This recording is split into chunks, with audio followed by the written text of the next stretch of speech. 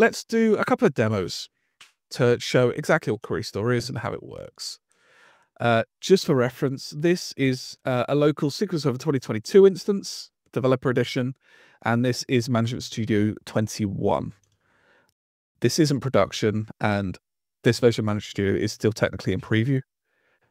However, it's good for demos, and I like the um, the way that it stores uh, tabs down the side. Just in a second. Uh, where do we want to go with documents? Uh, webinars. Here we go.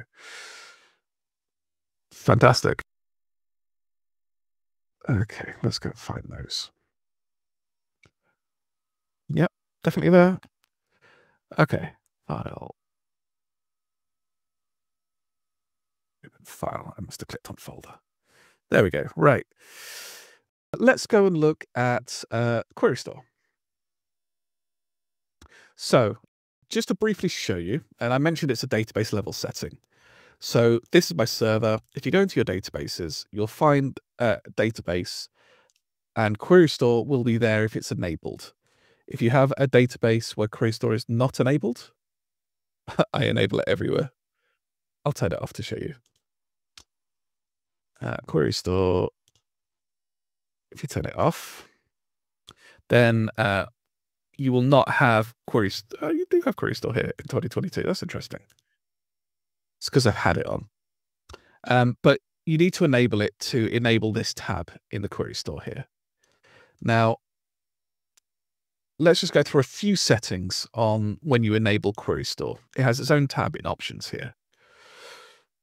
So you have three modes here. Uh, you have off, you have read only, and you have read write. Off means inaccessible, not capturing data.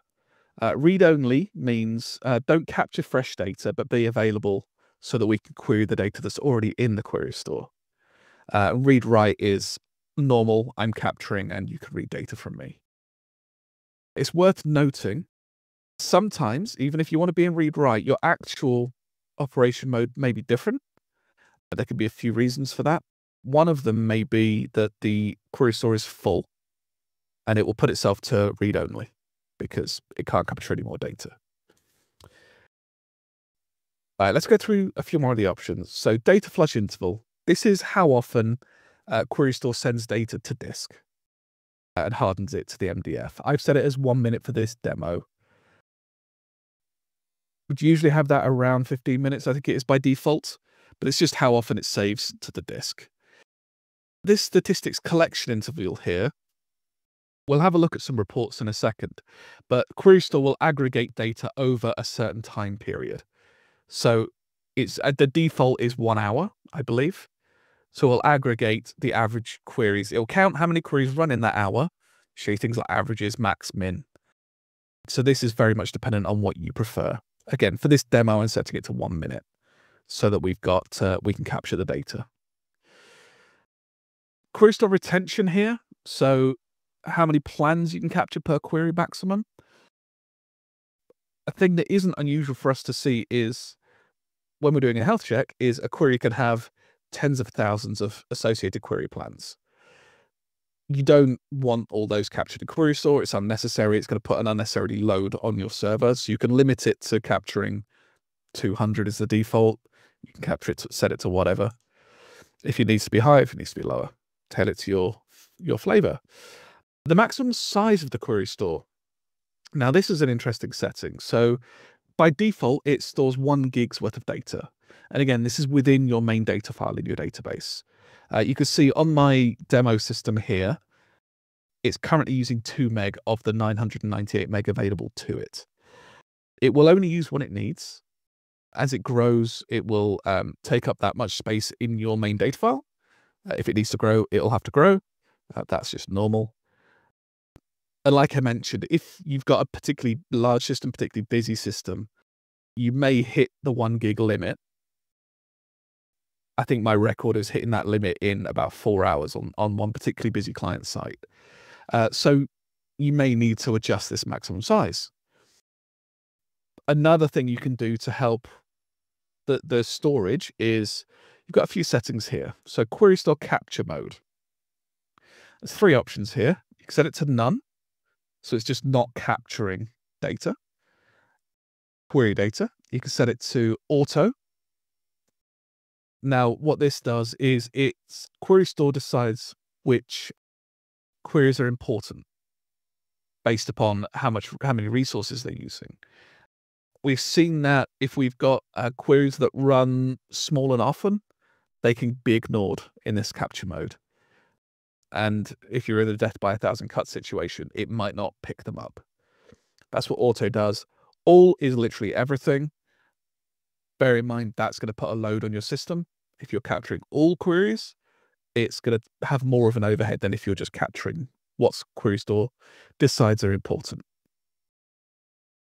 And you can set custom as well, but that's a setting I've never had to use. Um, so we, we won't have to go into it in depth in this presentation. Okay, size-based cleanup mode. Uh, this is similar. You've got off or auto. It's saying when I when data reaches maximum size, do you want it to allow it to self to self purge data? So you probably have that to auto as standard. Um, stale query threshold. So the the statistics that I mentioned, where we capture the data, how long do we want to keep that data around for? Set to 30 days. If you've got extreme pressure on your, your storage, maybe take that down to seven or two or whatever works in your environment. Wait stats capture mode here. So do you want to capture the wait statistics of queries? Do you want to know if they're block victims or what, what have you? Uh, it's a simple off-on capture. And again, if you're these are the sorts of things you'd only change if you're finding you've got quite a lot of overhead. So those are the default settings. And as uh, in any SQL Server, you can click script here and it will create a script of your changes. So this one, these are the changes I've just made to that. And you can see here, this is, this is how you would enable Query Store by T-SQL because you don't want to go into the GUI every time. So it's just turning Query Store on and that will just set it default parameters. And then if you want to modify, you can change whatever parameters you need from here. Uh, so we, we try not to use the GUI because it's just, it doesn't scale. Right, let's do a couple of demos on how a Query Store captures.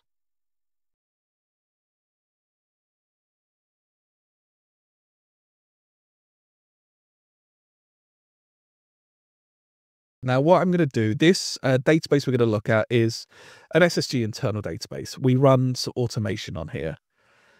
It's just a background process, but it's got Query Store running. So it's a good, good way to show you how it's working.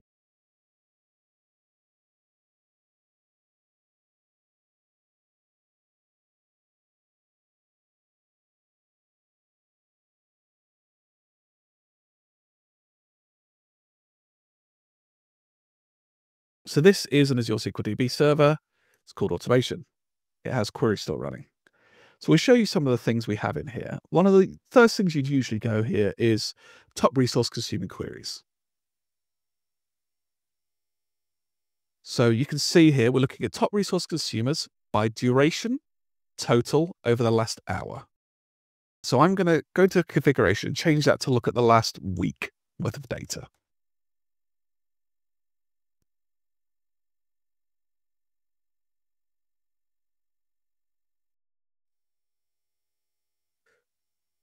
Okay, so these columns here are different queries.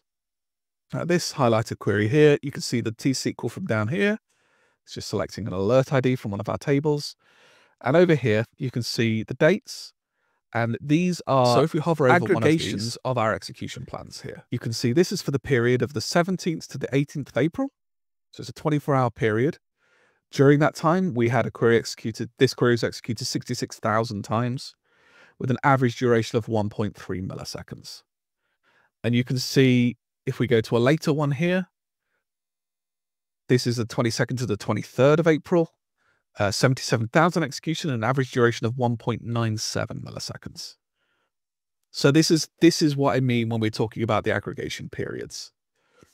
So we can change by queries by total execution count, total CPU or CPU, and then You can change the aggregation from average to total, things like that. To use an example of a query with multiple plans, uh, we've got one here. So this query here, uh, we can see this is the T-SQL. This is a query plan. Uh, for this query ID, we have two query plans here. We have 880681 and 880615. So if you click on them, you can see that they'll be, they'll be slightly different. Uh, it'll be further down. Uh, and you can see the the average duration of this query is uh, six that 6.4 seconds. Uh, and this one here is averaging 4.6 seconds. So if we wanted to force this plan ID here, we literally highlight it and click on force plan here. Says, do you want to force the plan? And we go, yes.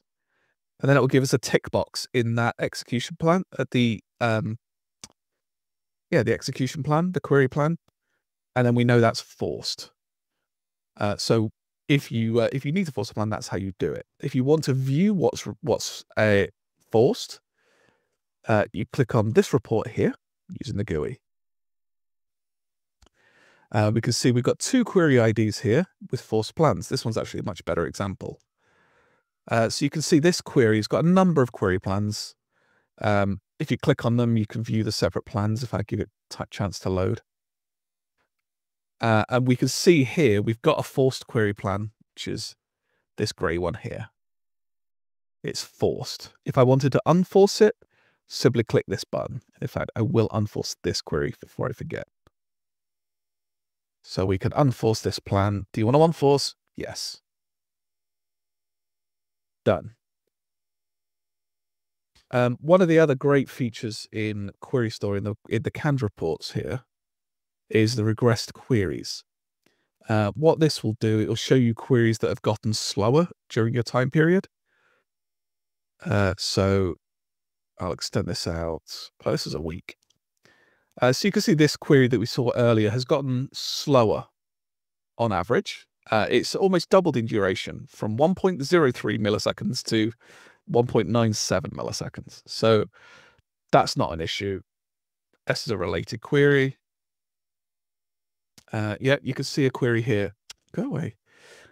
Now, what's interesting to see is this little triangle symbol means that this query uh, failed.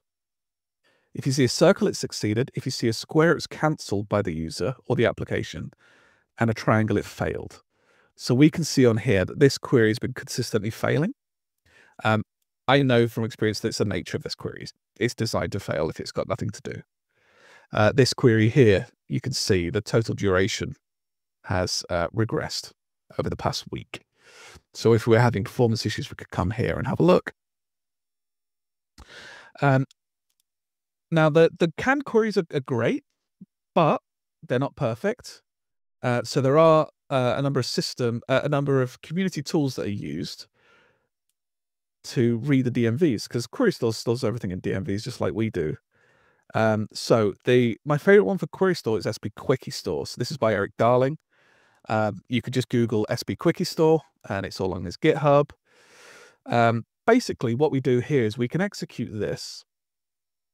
It's already installed on the instance, and it will go and go and interrogate Query Store, and it will give us our top queries. It defaults to CPU consumers, I believe, or it might be duration. Looking at this. Um, but it will give you your top queries based upon duration. Um, there's a bunch of different parameters. You can do things like uh, include a particular query plan. You, there's one here to search for query text. So if you know the query, but you don't know its query ID, or you know a bit of the T-SQL, you can put it in here and it will find it in Query Store for you if it's available. Um, it's extremely powerful. If you're starting to use Query Store, I very much recommend uh, digging into sp_QuickieStore. And Erik's got on his website, he's got a bunch of videos on how to use this, and and yeah, it's a great it's a great tool for Query Store. Thank.